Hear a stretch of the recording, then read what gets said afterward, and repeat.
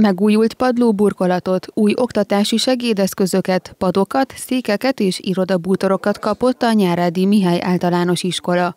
A Ramocsaházi intézményben ezentúl megújult a lépcsőfeljáró, és egy új akadálymentes bejáratot is kialakítottak.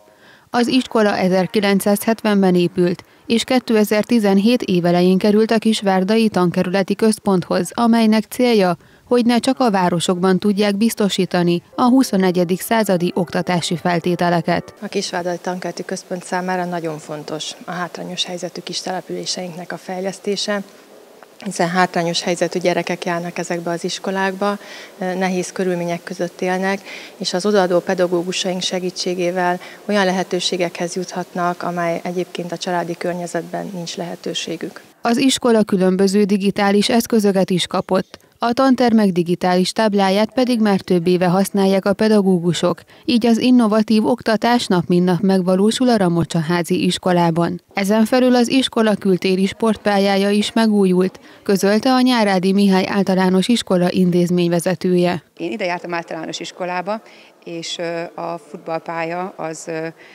akkor épült abban az időben, és azóta semmilyen salakborítást nem kapott, tehát a szél, illetve az időjárás viszontagságai nagyon megviselték.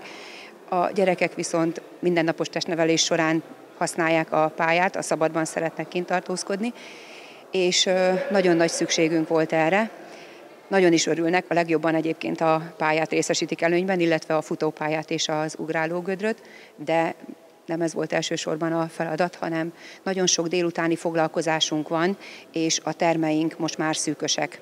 Négy délutáni csoportunk van, illetve citera, furúja, néptánc, zongoraoktatás folyik, illetve van egy testvériskolai pályázatunk, ott szintén foglalkozások, hetente négy foglalkozást tartunk, és szükségünk volt termekre illetve egy nyelvi labor került kialakításra az intézményben. A megvalósult beruházás a pedagógusok elhivatott munkájához. A hátrányos helyzetű településen élő 108 tanuló számára kínál a kor elvárásainak megfelelő tanulási feltételeket.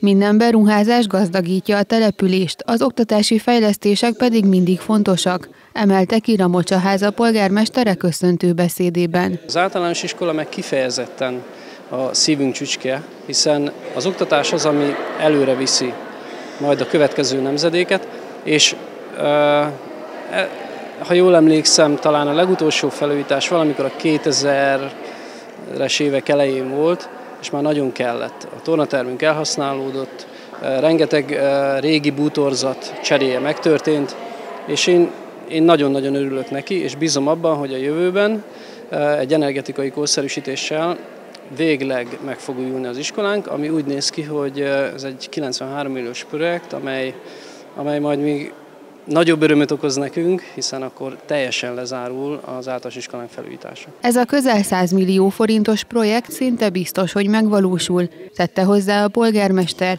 ezt viszont már nem tankerületi forrásból finanszírozzák majd.